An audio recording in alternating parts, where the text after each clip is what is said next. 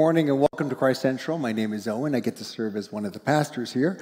Um, we were supposed to have our leadership rally this year in the fall, but because of circumstances beyond our control, we had to postpone it. And so today I want to tell you the new date of our leadership rally.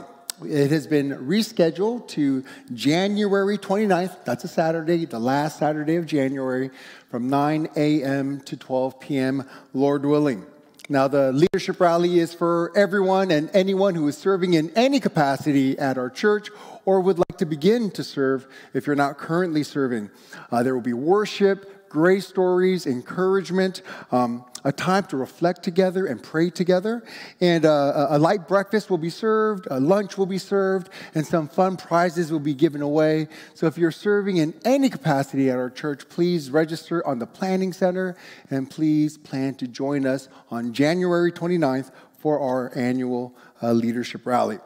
Uh, this year, we're studying the book of Acts, and the goal of this series is for us as a church to learn from the early church, as we find it in the book of Acts, uh, to learn uh, what it means to be the church, like, like to be the church in a biblical sense. A church that's Christ centered, a church that exalts Christ, a church that is a blessing to our day and place right here in Greater Metro DC. And the title of today's sermon is The Church in Antioch. So if you have your Bibles, turn with me to Acts chapter 11, and we're going to read from verse 19 to 30. Now, before we read the first half of chapter 11, uh, the Apostle Peter rehearses from his own perspective the story of Cornelius. And you guys remember that story from last week how Cornelius and his family, his Gentile family, and his Gentile friends uh, were the first to hear the gospel, believe the gospel. They were saved by the grace of God, they received the Holy Spirit. And, and the main point of that story really is told in verse uh, 18, where it says, And they glorify God, saying, Then to the Gentiles also God has granted repentance that leads to life. Now, from this point on in the book of Acts, the inclusion of the Gentiles into the people of God through faith in the gospel will be the main theme for this book. And Paul, who is known as the apostle to the Gentiles, will now be the main actor going forward in the book of Acts. And so that's the context uh, with which we come to our story today. So, starting from verse 19. So, people of God, this is the word of our God. Would you please give it your careful attention? Now, those who were scattered because of the persecution that arose over Stephen traveled as far as Phoenicia and Cyprus and Antioch, speaking the word to no one except Jews. But there were some of them, men of Cyprus and Cyrene, who on coming to Antioch spoke to the Hellenists or to the Gentiles also, preaching the Lord Jesus. And the hand of the Lord was with them, and a great number who believed turned to the Lord. And the report of this came to the ears of the church in Jerusalem, and they sent Barnabas to Antioch. And when he came and saw the grace of God, he was glad and he exhorted them all to remain faithful to the Lord with steadfast purpose. For he was a good man, full of the Holy Spirit and of faith, and a great many people were added to the Lord. So Barnabas went to Tarsus to look for Saul. And when he had found him, he brought him to Antioch. And for a whole year, they met with the church and taught a great many people. And in Antioch, the disciples were first called Christians. Now, in these days, prophets came down from Jerusalem to Antioch, and one of them, named uh, Agabus, stood up and foretold by the Spirit that there would be a great famine all over the world. This took place in the days of Claudius. So the disciples determined, everyone according to his ability, to send relief to the brothers living in Judea. And they did so, sending it to the elders by the hand of Barnabas and Saul. This is the word of the Lord. Amen. Here's the outline for today's sermon. First, the members of the church in Antioch. Second, the ministry to the church in Antioch. And three, the ministry from the church in Antioch. Let's start with the members or the kinds of people who made up the church in Antioch. But before we start with the church in Antioch, let's start with the city of Antioch. So, what kind of city was Antioch? Well, Antioch was the third largest city in the entire Roman Empire, uh, just behind Rome and Alexandria. It was a very large, a very multicultural, and a very cosmopolitan city. Uh, there were large, there, there, people from all sorts of nations and cultures lived there. Uh, there were large communities of Jews and Greeks and Romans, Africans, and even Asians in the city of Antioch. And the common language that was spoken in Antioch was Greek, while each ethnic community still had their own languages and their own cultures as well. It was kind of like a greater Metro DC, right? We have people here from all over the world, all sorts of different nations, ethnicities, and culture. And while the spoken language in greater Metro DC is English, each ethnic community continues to have its own language and its own culture. Now, back in Acts chapter 8, verse 1, we're told that the result of the persecution against the church in Jerusalem was that the church was scattered. And as the church was scattered, as it was scattered from Jerusalem, as it went into Judea and Samaria, they went about preaching the gospel. So it was persecution against the church that led to the initial expansion of the gospel. And, and the expansion of the gospel really happened in two ways. First, there was geographical expansion, and there was cultural expansion. So, first, the geographical expansion. Now, the preaching of the gospel started in Jerusalem, if we can have the map up. You see, Jerusalem is toward the bottom, right? It says under Judea. So, the preaching of the gospel began in Jerusalem, as Jesus said it would. And then where did it go? It went north to Judea and to Samaria, just as Jesus said. He said, remember to his church, you'll be my witnesses first in Jerusalem, and then where? In Judea and Samaria. Okay, and so the gospel is expanding uh, geographically. And now, in our story today, the gospel is expanding even further north, beyond Samaria, all the way up to Antioch. And you'll see Antioch to the upper right hand corner of this map. And so you see, the gospel was expanding geographically, it was going to the ends of the earth. And, but more importantly, the gospel was also expanding culturally.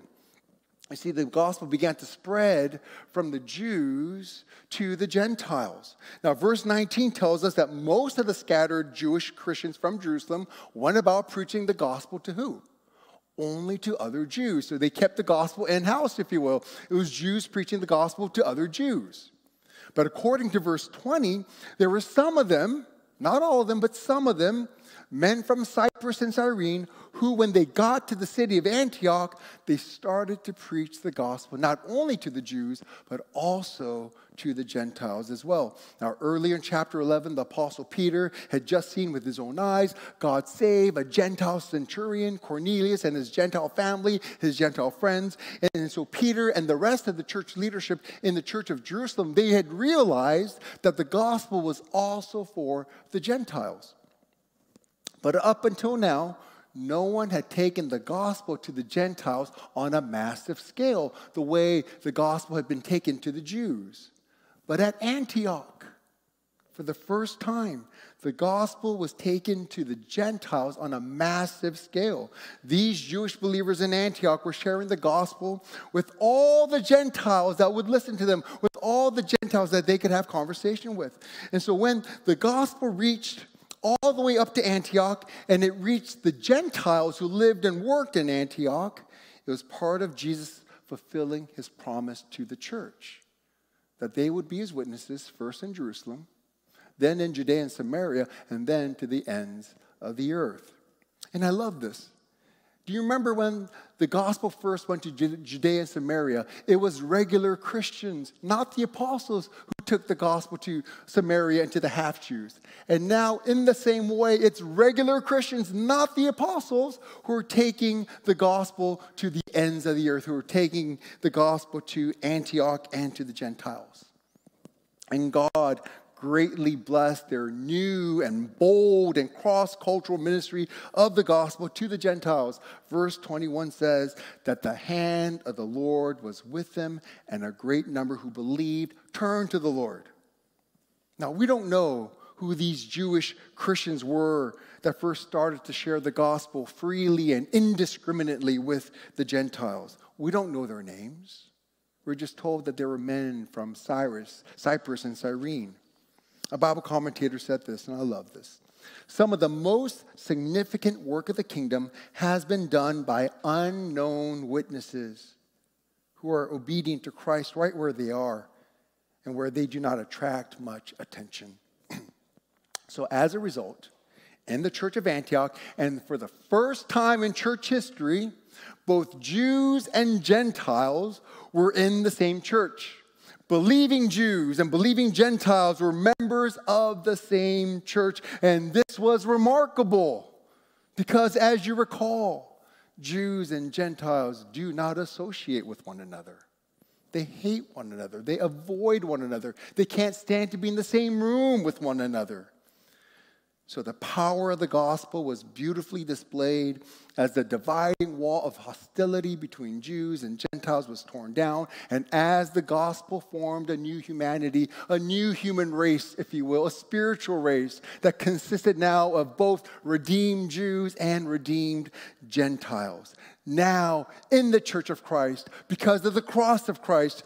Jewish sinners and Gentile sinners have received the forgiveness of their sins and they've been reconciled with God and they now have peace with God.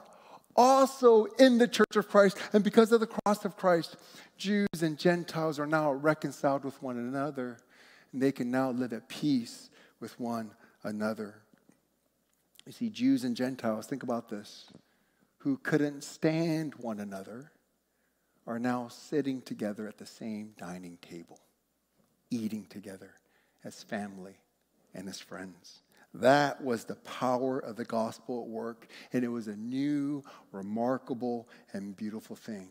The members of the church in Antioch were Jews and Gentiles who were once enemies, but now, through the power of the gospel, they're friends and their family. You know, as a pastor, I think about this and it makes me think. If Jews and Gentiles, who once hated each other's guts, can reconcile and live together in peace in the same family of God through the power of the gospel, then surely we can too. That's been a long time since I gave you all some real talk. I got some real talk for you today. You guys ready? And some of you might get mad at me because of what I'm about to say. And if it hits home, no, that's the Holy Spirit, okay? It's not me, okay? Don't, don't think I'm thinking about you as I say this, okay? It's the Holy Spirit speaking to you. So I just, you know, I, I absolve my hands of any kind of a wrongdoing right now. But here's the real talk God, our Father's heart is broken. Let me say that again. God, our Father's heart is broken, and it's because of some of you. It's because of some of you. It's because some of you are refusing to reconcile with people in our church family. Just as a father's heart is broken when his beloved children are at odds with one another and they refuse to reconcile, in the same way, our Heavenly Father's heart is broken when he sees us, his beloved children, at odds with one another and refusing to reconcile. Some of you are mad at each other and you haven't talked to one another or had meaningful interaction with one another for quite some time. And this is with people that you once considered your very close friends. Maybe it was over something that happened a few weeks ago. Maybe it was over something that happened a few months ago. Maybe it's something that happened a few years ago. But whatever the case, you avoid one another now and you act as if the other don't exist. You literally act like Jews and Gentiles together and you just avoid each other. Or maybe you've had a falling out with someone uh, over some sharp uh, political differences. Maybe that person was too conservative for you, or maybe that person was too progressive for you. Maybe you got mad at someone because they didn't seem to care about racial injustice enough or even minimize racial injustice. Or maybe you got mad at someone because they seemed to make everything about racism and systemic racism. Maybe it was something personal. Maybe it was a word that was said. Maybe it was an action that was done or not done. Whatever the case, whatever the cause, whatever the incident, you now avoid each other, and there is unresolved tension and conflict in your broken relationship. And what's worse is it causes other friendships and other relationships to suffer too because people now can't be friends with you and the person that you're in conflict with because then they feel like they have to choose and they don't know what to do. Because to befriend one feels like a betrayal to the other, and it's a relational mess. And it's so sad and so heartbreaking for me as the pastor of this church to see members of our church family willingly stay in unresolved conflict and tension with one another and refuse, simply refuse, for whatever reason, to reconcile. And if it breaks my heart that much, it makes me wonder how much more it must break the heart of our Heavenly Father when He sees us at odds with one another and refusing to reconcile. You know, the power of the gospel is beautifully and powerfully seen and demonstrated when Christians forgive one another, reconcile with one another, love one another, and live together in peace and harmony. Now, that doesn't mean that the person that you're in conflict with, that you and, and that person will become best friends again and that you're going to spend all your time together. It doesn't mean that. It doesn't mean that you're going to see eye to eye with that person over every political issue. It doesn't mean that. But it does mean that you're willing to forgive one another and to let go of your grievances and to let go of your bitterness that you've harbored in your heart against that person for so long and, and to begin to treat that person with kindness and to want the best for that person.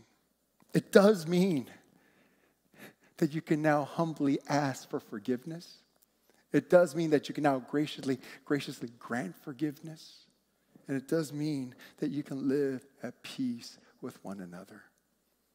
It means that you can agree to disagree without losing respect or love or admiration for the person that you disagree with. Do you realize just because you disagree with someone does not mean you have to disdain them?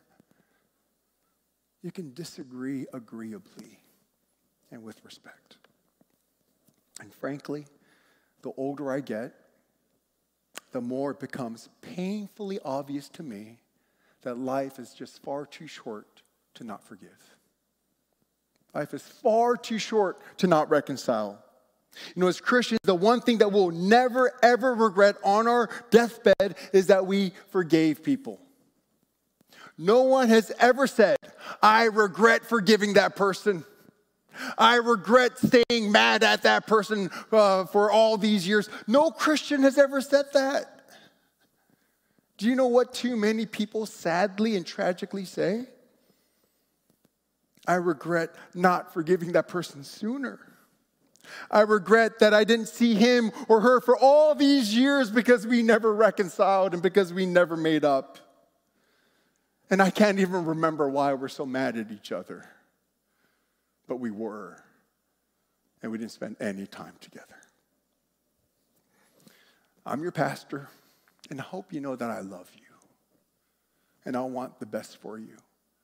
And what I want for you is not to regret not reconciling with a friend or family member until one of you is about to die. Sometimes I want to say, dude, does it take someone getting cancer for you to reconcile with that person?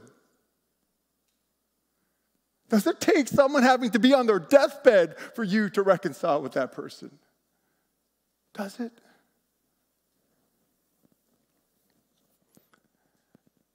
I want what's good for you, what's truly good for you, and that's for you to reconcile with the people in your life that you've been estranged from, whether family or friends, sooner rather than later. You see, friends, the gospel is not only the power of God for salvation to everyone who believes, it is also the power of God for reconciliation for everyone who believes. And so, dear Christ Central family, can I beg you, can I plead with you by the power of the gospel? Let's reconcile with people, especially with people in our same church family that you're at enmity with. Let's reconcile for the joy of our Father's heart and for the joy of our own hearts as well. Now, before I leave off, I, I do need to say this. Now, this does not mean that you cannot pursue justice when injustice has been committed. We ought to pursue justice and seek to make things right, to address and correct wrongs that have been, uh, uh, that have been committed pursuing reconciliation and pursuing justice are not mutually exclusive. In fact, you cannot have true reconciliation without justice. Reconciliation and justice must go hand in hand. But listen to me we can and we must pursue justice while extending mercy and grace for reconciliation. Otherwise, a merciless and a graceless pursuit of justice will become an injustice itself.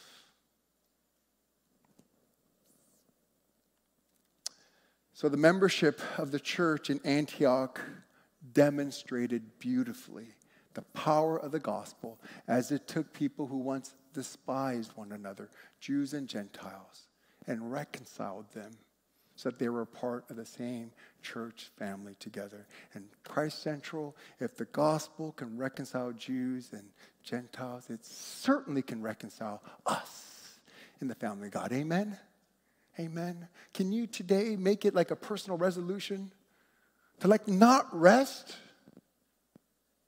until you reconcile with that person that you're mad at or who you know is mad at you? Can you do that, church? I want that for you, for the glory of God and for the joy of our family. Second, uh, let's consider the, the ministry to the church in Antioch. Now, news of massive Gentile conversion to Christ in Antioch, uh, them responding to the gospel, that news reached the church in Jerusalem. And so the Jerusalem church was like, man, what's going on in Antioch, right? And so they sent Barnabas to go and check it out. And they sent Barnabas to do two things. First, Barnabas went to evaluate verse 23 says that Barnabas came and he saw the evidence of the grace of God. So Barnabas went to evaluate the work that was going on in, in Antioch to, to, to um, uh, to, uh, to make sure that it was a real and genuine work of the Holy Spirit, that the gospel that was being preached and the gospel that was being believed was, was sound and it was true to the apostolic gospel, and that, it was, uh, that the gospel was producing the fruit of the Holy Spirit in the lives of these new Gentile believers. So, the first reason for Barnabas' visit was to evaluate what was happening in the church of Antioch. But secondly, and more importantly, Barnabas was sent to encourage.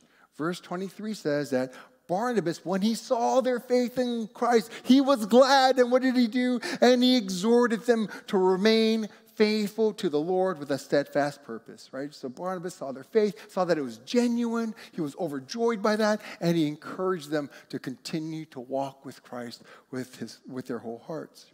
You know, I think about young Christians and young churches.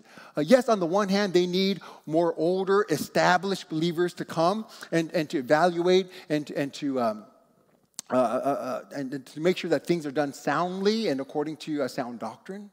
But more importantly, young Christians and young churches need encouragement and affirmation from older, wiser, loving, and nurturing believers, right? They need that. And in verse 24, Luke noted what kind of man Barnabas was. He says simply, Barnabas was a good man, full of the Holy Spirit and of faith. You know, as I was preparing the sermon, uh, that phrase struck me, right? Barnabas was known as being a good man and full of the Holy Spirit and full of faith. And I, and I began to realize, uh, what am I known for? And I began to really like desire deeply in my heart, God, let that be true of me. Let, let me be a man that, that is known as, as, as being a good man, a man full of the Holy Spirit and full of faith. And right now, I want to talk to the other pastors in the room and, and to the elders of our church. Brothers, this is what we ought to, to long to become.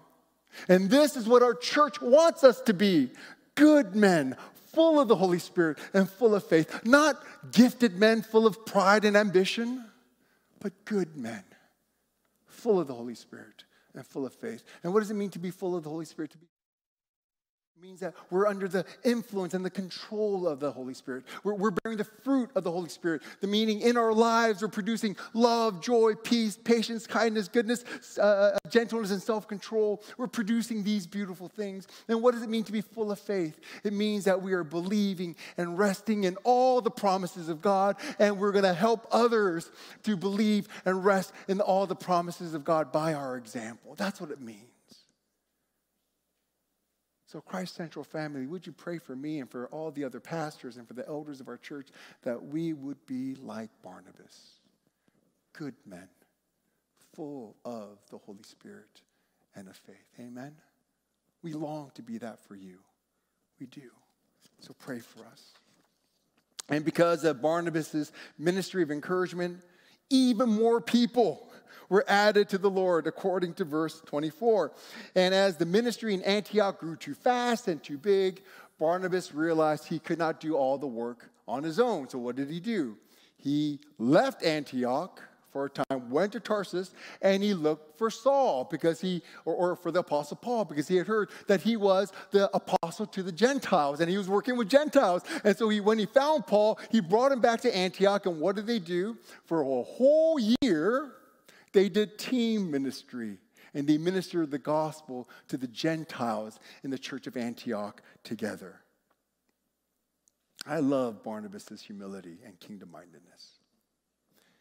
You know, if Barnabas wanted to make himself feel important in ministry, then, you know, he would have found anyone else but Paul to come work with him, right?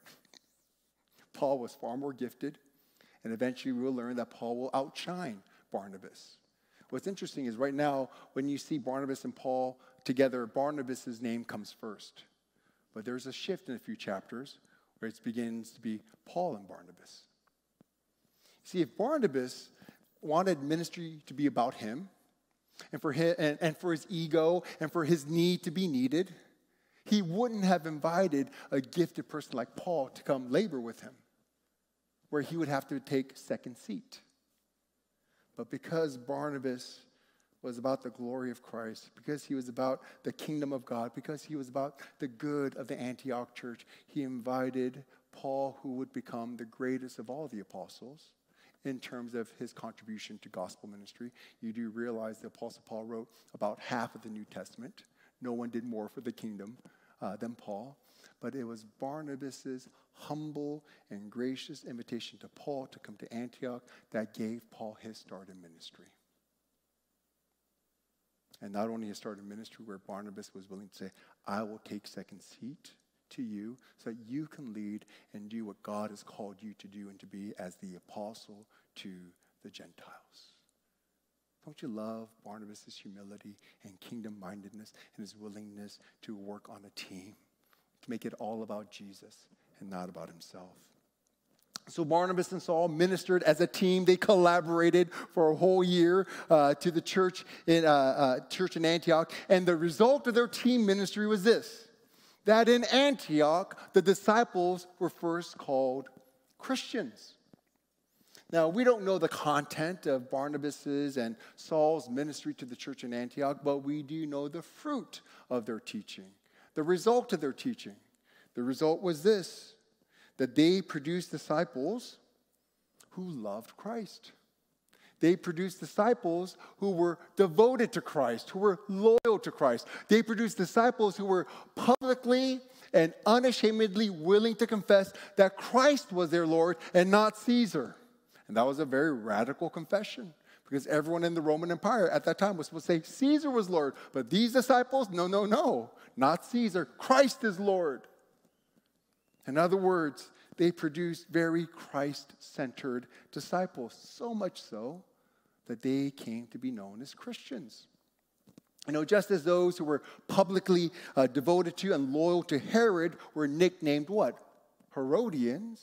So those who were publicly devoted and publicly loyal to Christ came to be nicknamed as Christians. And the name Christian, the nickname Christian, was not a name that Christians gave to themselves.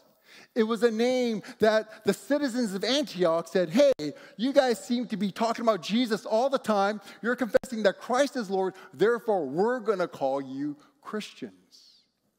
So the people in Antioch knew who the Christians were by their personal and public confession and conduct. So, Christ Central, I want to ask you this Do the people in your workplace know that you are a Christian by your public and personal confession and conduct? Or do you try to keep it on the DL at work, right? And no one knows that you're a Christian? And if so, why? What are you afraid of? Why do you not want others to know that you're not that you're a Christian? You have to think about that, don't you? So Barnabas and Paul provided ministry to the church in Antioch. Lastly, and quickly, let's see the ministry that came from the church in Antioch. Now, a prophet named Agabus, Agabus predicted that a great famine would come and that it would devastate, it would really hit hard the Christian brothers and sisters in Judea. And so, this new, young church in Antioch decided to take up a love offering uh, for the church in Jerusalem, and everyone in this church gave according to their ability. And they sent this financial gift that they amassed together to the Jewish church by the hand of Barnabas and Saul. And one of the beautiful fruits of spiritual maturity and vitality is financial generosity. I want you to think about this. The Jewish church in Jerusalem had sent Barnabas to the Gentile church in Antioch to bless them spiritually.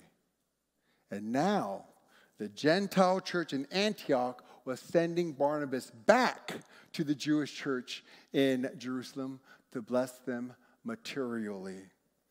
The church in Antioch had received ministry, and now they're giving ministry. Ministry was coming from this new young church in Antioch. Now, though the church in Jerusalem was entirely Jewish, though the people in the church in Antioch did not, have, did, did, did not know the people in the church in Jerusalem personally, there was no personal connection there. And yet, they considered them brothers, according to verse 29. And when the church in Antioch had heard that their brothers in the Lord were going to suffer terribly from this famine, they generously and they sacrificially gave according to their ability to send relief to their brothers because they realize they're in the same family of God now. And this generous financial gift was further proof and evidence of the beautiful reconciliation that happened between redeemed Jews and redeemed Gentiles. You know that true reconciliation has happened when you can joyfully and sacrificially part with your money to bless the person that you were once at odds with. You know, you can't give people money, at least joyfully, if you're still mad at them. It's only when you've been truly reconciled in the Lord that you can joyfully and generously and sacrificially give to the people you once hated, but you now love in the Lord. The gospel produced not only a church with both redeemed Jews and redeemed Gentiles in Antioch, but it even produced unity and solidarity between two churches that were so different the fully Jewish church in Jerusalem and the mixed race Jew Gentile church in Antioch. And there was a connection and a partnership between these two churches. Now, at the end of every sermon, I usually give a so what. What that means is I try to give you one or two things uh, so that in ways that the sermon can make a difference in your life personally, right? But today I want to share with you kind of a big so what uh, for the entire sermon series. So after we're done studying the book of Acts, after we're done studying the early church in the book of Acts, what's the big difference I want to see happen in the life of our church? And here's the big so what. Lord willing, I want our church to plant a daughter church in Tysons. That's the big so what for this entire sermon series through the book of Acts. You know, the elders, the staff, the pastors, and I, we're praying that because we have studied and internalized the book of Acts, uh, because we have come to better understand what it means to truly be the church, that our whole church, not just the leaders of our church, but every member of our church would become more eager and more excited about planting a church in Tysons. Our prayer and our desire is for unchurched and dechurched people who live or work in Tysons to hear the gospel and to believe the gospel. You know, there are people, so many people, who need to hear that God exists, that God loves them in Christ, that God offers them forgiveness for all of their sins in Christ, that God has the power to change and to renew their lives. There are people who need to hear that this broken, ugly, fallen world is not all that there is, but there is a new and a better world which is to come. A world without sin, a world without sickness, a world without suffering, a world without injustice, a world without death. There are people who need to hear this precious, precious message of the Lord Jesus Christ and, and of the kingdom of God. And for that to happen, we need people to go to Tysons and to share the gospel with the people who live or work in Tysons, just as men from Cyprus and Cyrene had to go to Antioch and share the gospel with the Gentiles who lived and worked in Antioch. Pastor Peter and Jane, his wife, have sensed the call from the Lord Jesus to go to Tysons and to preach the gospel there and to start a new Christ Center church there. And it's an exciting kingdom advancing work that they're being called to. But Christ Central, do you realize that they cannot do this alone? They need people to go with them, to do team ministry with them, just as Saul and Barnabas did team ministry together in Antioch. And just as the church in Antioch needed older, wiser, loving, nurturing believers to come to help mature and disciple the, the new and young believers in Antioch, so the church in Tysons will need older, wiser, spiritually mature, loving, and nurturing believers from our church to go to help uh, nurture and disciple the new and young believers that we believe will be there in Tysons. You see, the church in Jerusalem was willing to send their very best. They sent Barnabas, one of their best. I want you to think about Barnabas. Do you know who Barnabas was in the life of the Jerusalem church? He's the one that sold his property and gave all the proceeds to help uh, take care of the poor in the Jerusalem church. Barnabas was the pillar in the Jerusalem church. And they was like, no, no, we can't send Barnabas. I mean, he, we love Barnabas here. Send anyone else. You can't send Barnabas. But they sent Barnabas, and Barnabas didn't go for like two weeks. He went for over a year. The Jerusalem church was willing to send their very best for over a year to bless the church in Antioch. And in the same way, Christ Central Centreville, can we send our very best people to go and be a blessing to the people in Tysons, to help share the gospel there, to help nurture and mature and disciple new believers in Tysons? Can we send our very best? So, if something like that interests you, I want to encourage you, no matter who you are, would you please start praying about it and talk to Pastor Peter? He'll be available to talk to you after the service. We have, I don't know if you've noticed this, but we have a Christ Central Tysons table in the foyer, and he's there every Sunday after every service, happy to talk with anybody about joining him uh, on this mission. And so talk to him, get your name on the email list, start getting notifications, and you can begin to pray about whether God might be calling you to be a part of this new gospel work in Tysons. And so, Christ Central, my prayer, my hope is that after this sermon series, we will have a team of believing men and women who are ready to leave with Pastor Peter and Jane to go to Tysons to help start a new gospel centered church there. That's the dream. And friends, if that's the big, so what? If that's the big difference I can make in the life of our church, then we can glorify, praise, and thank God together. Amen. Amen. Let's pray together. Uh, Lord Jesus, um, thank you for being the one who planted this church. And, for, and you built this church and you grew this church. And we're so grateful that you did.